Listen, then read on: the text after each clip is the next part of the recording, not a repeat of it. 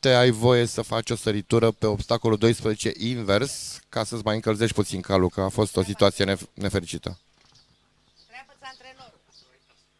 Întreabă-l pe tata antrenor.